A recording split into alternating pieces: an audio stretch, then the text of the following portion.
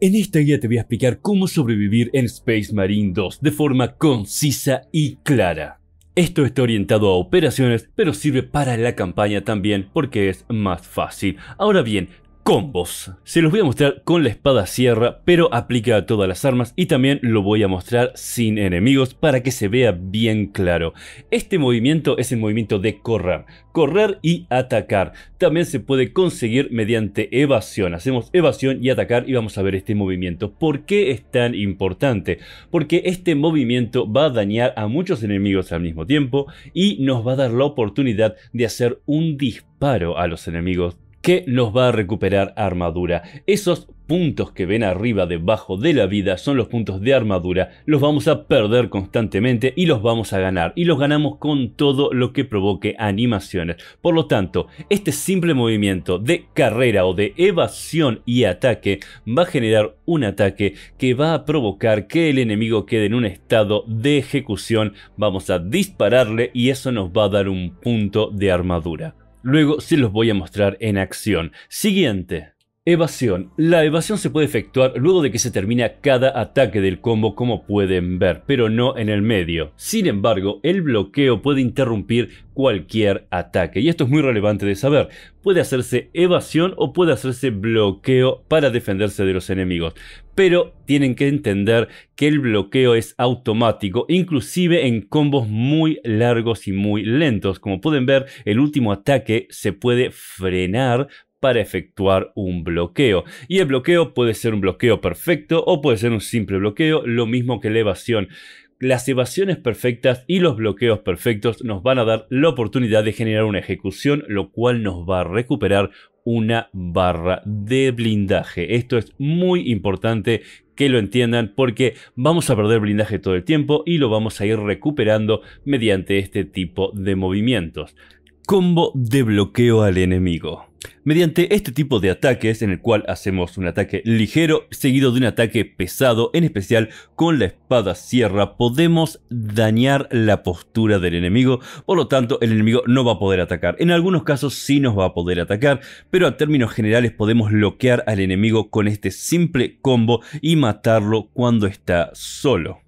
Ahora bien, el combo completo de la espada sierra es un combo que es bastante efectivo, pero no se puede utilizar la mayor parte del tiempo porque no nos da tiempo. Nos atacan antes de que lo terminemos, por lo tanto tenemos que intercalar este tipo de combos con ataques pesados que básicamente son ataques que disrumpen al enemigo. Y el mejor de los ejemplos es el pisotón que da luego del tercer ataque.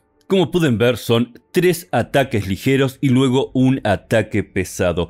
Este pisotón lo que va a hacer va a ser separar a los enemigos y nos va a servir especialmente en hordas. Cuando estamos confundidos por la cantidad de enemigos, en especial pequeños que tenemos, este tipo de ataque nos va a dar un poco de espacio y si tenemos suerte va a dañar lo suficiente a algún enemigo como para hacer un remate. Recuerden que siempre que vean un remate tienen la posibilidad de recuperar blindaje. Ataque de carrera. Este es uno de los movimientos más efectivos y menos atendidos de todo Space Marine 2. Básicamente corremos en una dirección y presionamos el ataque ligero y vamos a hacer un ataque como el que estamos viendo. También podemos evadir e inmediatamente luego de evadir hacer el ataque ligero y vamos a generar el movimiento que es un movimiento circular. Lo importante de este ataque es que va a generar una acción de oportunidad para dispararle a un enemigo. Esto es cuando aparece un símbolo para dispararle a un enemigo encima de la cabeza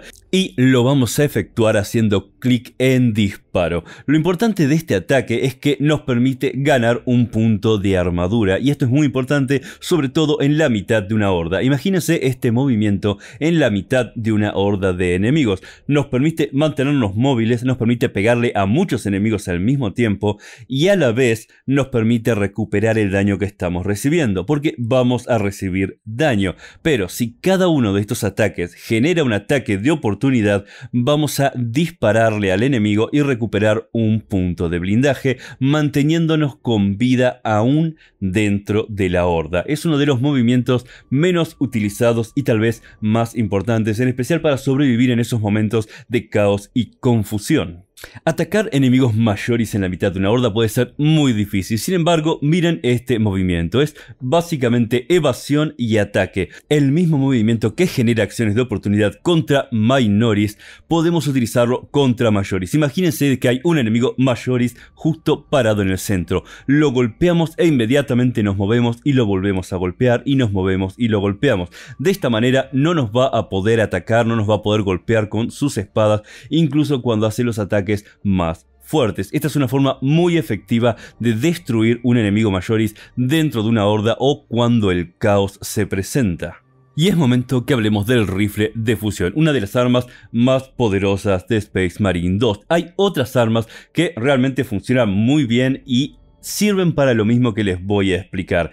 Pero en este caso voy a utilizar el rifle de fusión como ejemplo, que lo pueden utilizar tanto el especialista como el vanguardia y también el pesado, pero en una versión más poderosa. Lo importante de este arma no solamente es que destruye, sino que también empuja a los enemigos. Por lo tanto, en muchos casos nos hemos enfrentado a enemigos que cruzan las espadas y no podemos hacerles absolutamente nada, no los podemos atacar y básicamente nos atacan mientras nosotros atacamos y perdemos un montón de vida. Bueno, intercalar el ataque cuerpo a cuerpo con ataques del rifle de fusión es extremadamente efectivo.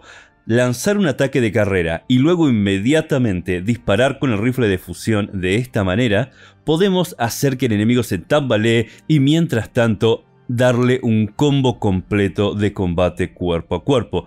De esta manera ahorran munición porque pueden dispararle y va a ser muy efectivo si le siguen disparando, pero van a perder munición y además de eso el arma tarda mucho en recargar. Sin embargo, si lo utilizan para desestabilizarlo, van a poder rematarlo con un combo bastante largo de combate cuerpo a cuerpo. Mucha gente no lo utiliza en conjunto y créanme que en conjunto es muy relevante utilizar las armas. Del mismo modo, la pistola Volter. La pistola Volter debería ser un arma que se utiliza a larga distancia o para ir mermando a los enemigos antes de acercarnos a ellos. Realmente es extremadamente efectiva para destruir enemigos pequeños y luego acercarse al combate cuerpo a cuerpo o tal vez inclusive dañar un poco a enemigos mayores y luego acercarse al combate cuerpo a cuerpo. Esta es el arma que tienen que tener la mitad del tiempo en las manos tiene una enorme cantidad de munición y es mucho más efectiva de lo que la gente cree y la cantidad de disparos duran mucho, mucho tiempo. Ahora bien, Vamos a pasar a la práctica. Vean cómo con la pistola Volter se va aminorando la cantidad de enemigos y luego hay que ejecutar a los mayores para que los enemigos minoris queden destruidos. Cada vez que lo vemos brillar, lo atacamos en un remate. Y esto es importante porque hay mucha gente que no remata a los enemigos. Tenemos que rematarlos. Rematarlos nos permite ganar blindaje. Grábenselo en la cabeza porque hay mucha gente que está con problemas en el nivel 1 de operaciones. Y sí, esto que están viendo es solamente el nivel 1, pero las técnicas sirven para todos los niveles. Es mejor practicarlas en los niveles más fáciles.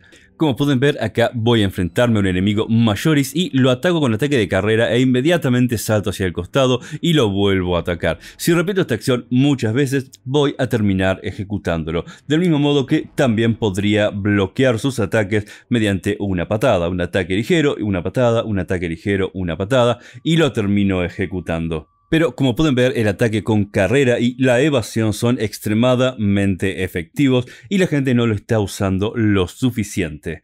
Las bolitas verdes, estas malditas bolitas verdes, ¿se dan cuenta para qué sirve la pistola Volter? Realmente sacárnoslas de encima es algo muy bueno y es muy efectivo hacerlo con la pistola Volter. De la misma manera que limpiar esta escalera de enemigos minoris. Realmente es una excelente forma de ahorrar munición y de deshacernos de esas esferas verdes que realmente hacen muchísimo daño.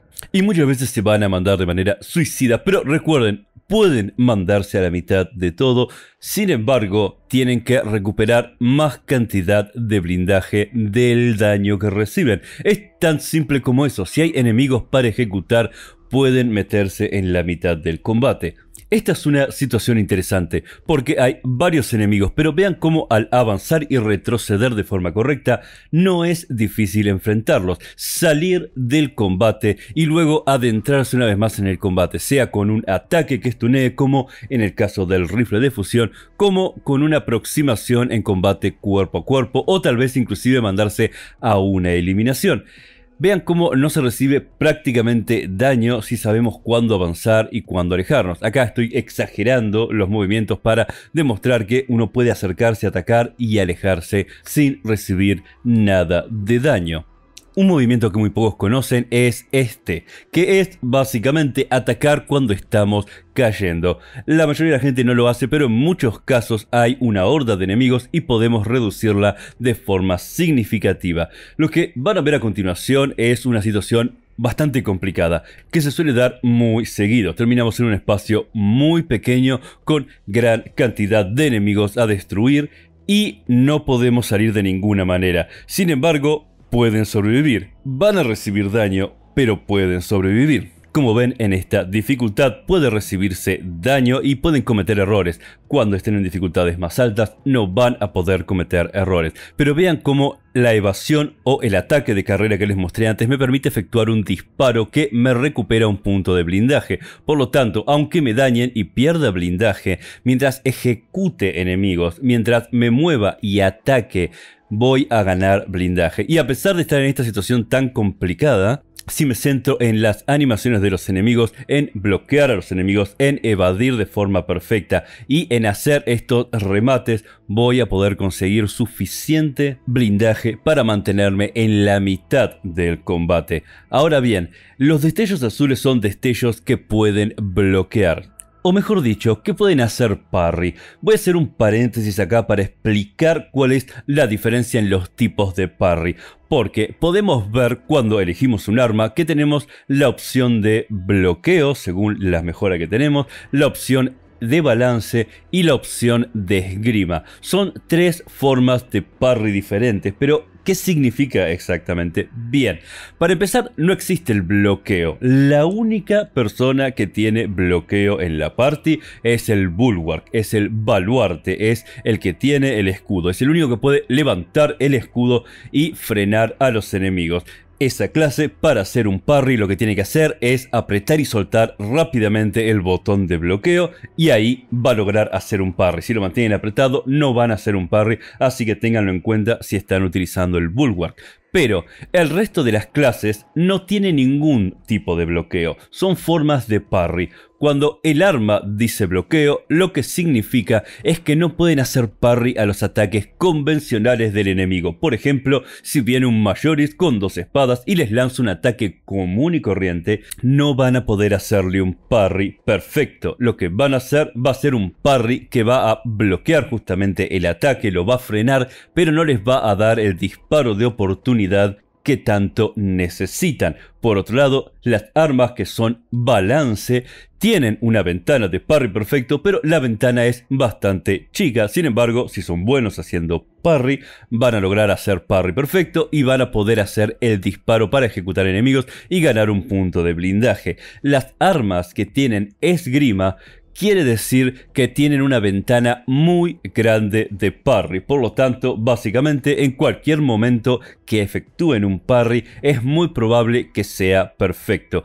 Ahora, quiero que quede claro, todas las armas pueden frenar ataques a excepción de los ataques que son de color naranja. Estos ataques son imbloqueables y hay que evadirlos pero todas las armas pueden frenar ataques. La diferencia es que las armas que tienen bloqueo no pueden hacer un parry perfecto de ataques normales. Y esto es difícil de entender, así que les voy a dar un ejemplo. Viene un Majoris con dos espadas y de repente lanza un golpe que no tiene brillo. A este golpe van a poder hacerle parry con todas las armas, pero las armas que tienen solamente bloqueo no van a poder hacerle parry perfecto, mientras que las armas equilibradas van a poder hacer un parry perfecto y las armas con esgrima van a tener una gran chance de hacer parry perfecto porque la ventana es mucho más grande. pero insisto, esta mecánica no toca los ataques de color azul, los cuales se pueden frenar en el momento indicado con cualquier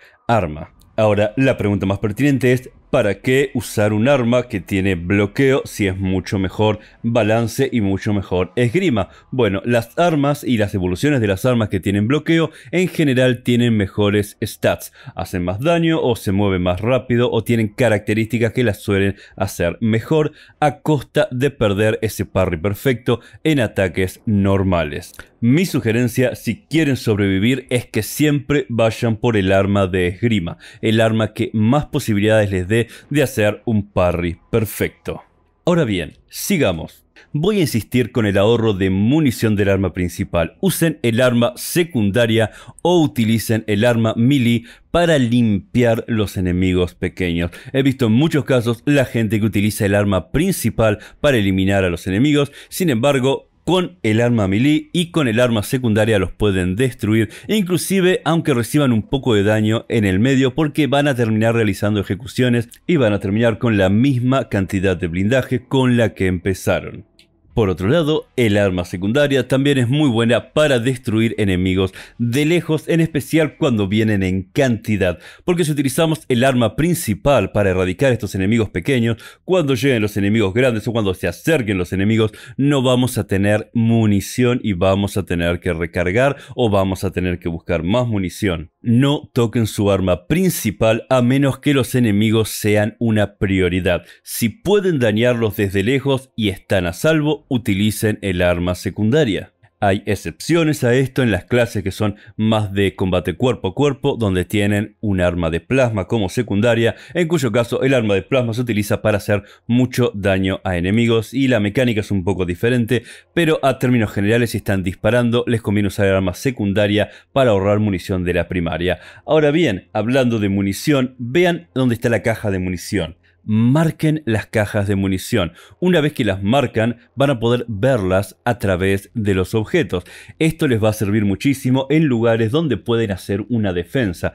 Porque no solamente lo van a ver ustedes, sino que la va a ver toda su escuadra y van a poder reabastecerse de munición constantemente. Este tipo de situaciones son las situaciones ideales para gastar toda la munición de su arma principal que es totalmente OP. Si tienen rifle de fusión, destruyan a los enemigos. Si tienen un arma de sniper, destruyan a los enemigos. Si tienen un arma pesada, destruyanlos. Total, van a poder cargar munición. Esto es muy importante saber dónde están las cajas de munición. Ahora bien, ven estos objetos que son los objetos rojos que tenemos en el ambiente. Son claramente explosivos. Le hacemos un disparo y volamos una cantidad de enemigos que estén cerca que es monumental. Y suele ver muchos de estos objetos muy al paso. Y no solamente daña muchísimo a los enemigos, sino que no los daña prácticamente nada a ustedes mismos. Aun si tienen al lado un explosivo, pueden utilizarlo para limpiar una horda o limpiar enemigos y el daño que van a recibir del explosivo es mucho menor que el que les estaría haciendo la horda, así que aprovechenlos porque hacen una gran diferencia.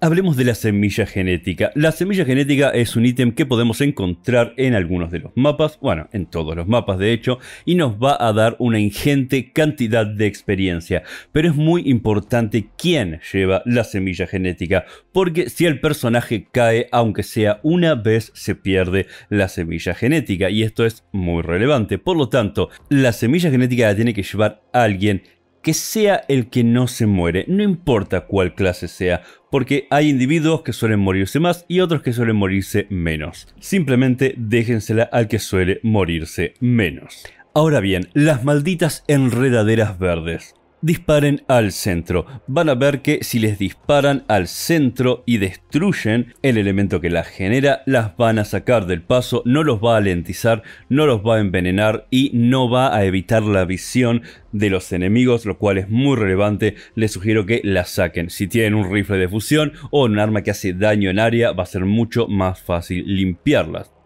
que miren esta aproximación, cómo saco de encima los enemigos prioritarios. Primero un rifle de fusión a los enemigos más pequeños para que no molesten y luego avanzo y salgo del combate evitando que los enemigos me hagan daño. No es una cosa que requiere gran habilidad, es una cosa que requiere prioridad.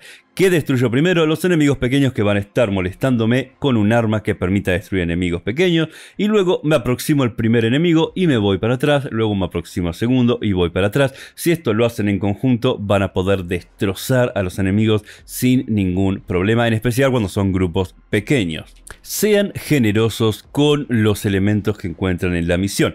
Destruyan estas cajas y van a ver elementos de blindaje que son relevantes. Van a ver arriba que me suma un par de barras de blindaje, lo cual es relevante, no tan relevante. Irónicamente no es tan importante para los que combaten en cuerpo a cuerpo porque se la pasan perdiendo blindaje y ganando blindaje. Y una vez que pierdan estas dos barras, no las vuelven a ganar. Sin embargo, es muy útil para aquellos que se mantienen a distancia, sea un sniper, sea tal vez uno más support como puede ser el pesado.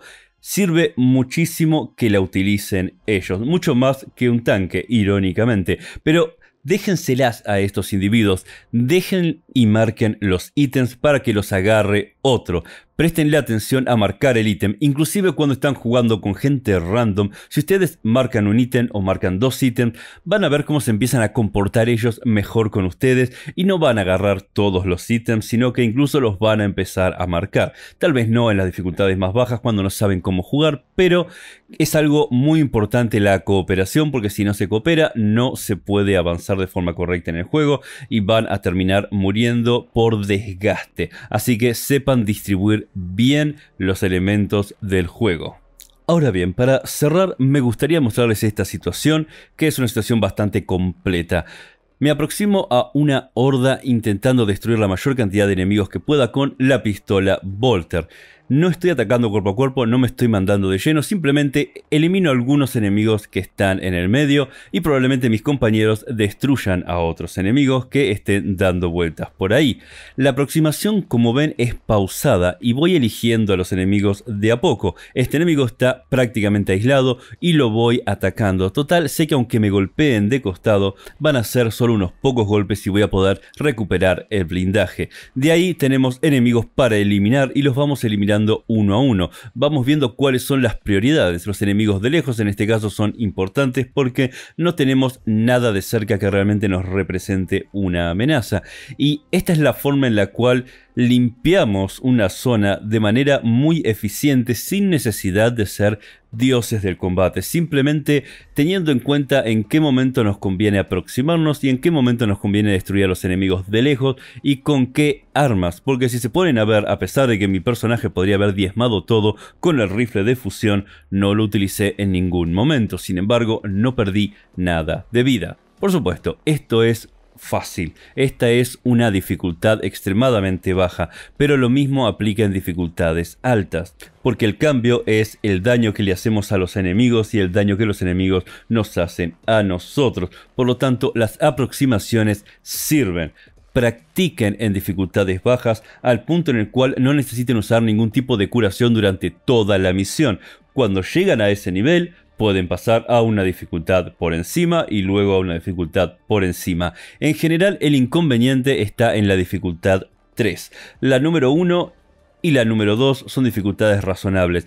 El problema con la dificultad número 1 es que la gente no entiende nada de las mecánicas, pero viendo este video ya automáticamente podrían hacer la dificultad número 1 sin problemas y entender en qué están fallando. Una vez que lo encuentran la vuelta, lo van a poder hacer sin problema. Y pasar a la dificultad 2, cualquier gamer promedio lo puede lograr. La dificultad 3 castiga mucho. ¿Por qué? Porque aparecen jefes, porque aparecen voces.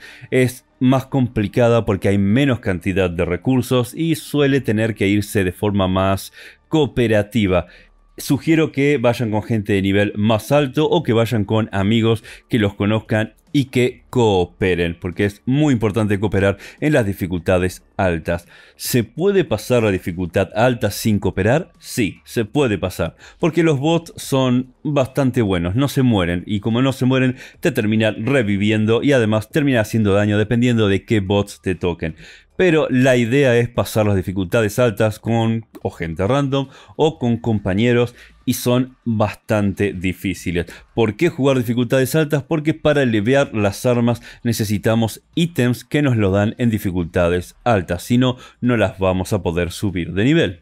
Y ahí lo tienen, mis queridos hermanos. Me llevó 100 horas aprender estas mecánicas. 100 horas cuando no había ningún tipo de mecánicas al principio y nadie nos explicaba absolutamente nada, así que es todo prueba y error. Puede que las mecánicas cambien, puede que encuentren otros videos que tenga mejores ideas o que explique las cosas mejor, incluso tal vez alguna de las cosas que digo estén equivocadas, porque el juego salió hace muy poco y todavía los creadores de contenido estamos intentando averiguar cómo jugarlo o cuál es la forma más óptima de jugarlo, así que si estás viendo esto en el futuro o inclusive en el presente, prestenle atención a otros creadores, a otras opiniones y traten de generar una manera de jugar que les resulte más efectiva. Creo que Space Marine 2 es un juego excelente, me encanta a cualquiera que le guste el Power Fantasy de jugar un Space Marine. Este es el juego para ustedes. Me gustaría recordarles que les dejo en la descripción mi link de Instant Gaming que patrocina el canal y gracias a ellos pude seguir de hecho con el canal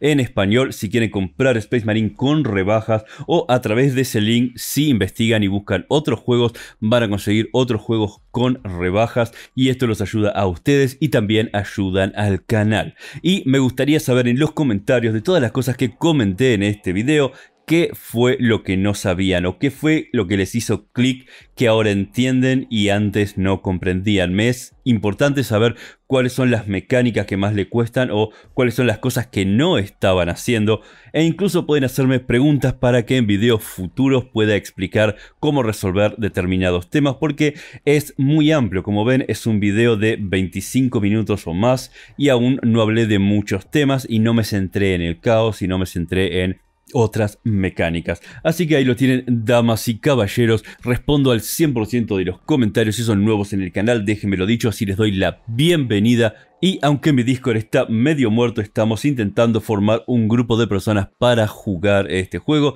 Así que vean el link del Discord en la descripción si quieren unirse y tal vez, solo tal vez, podamos conseguir armar grupos para jugar Space Marine 2. De momento, damas y caballeros, paso a retirarme.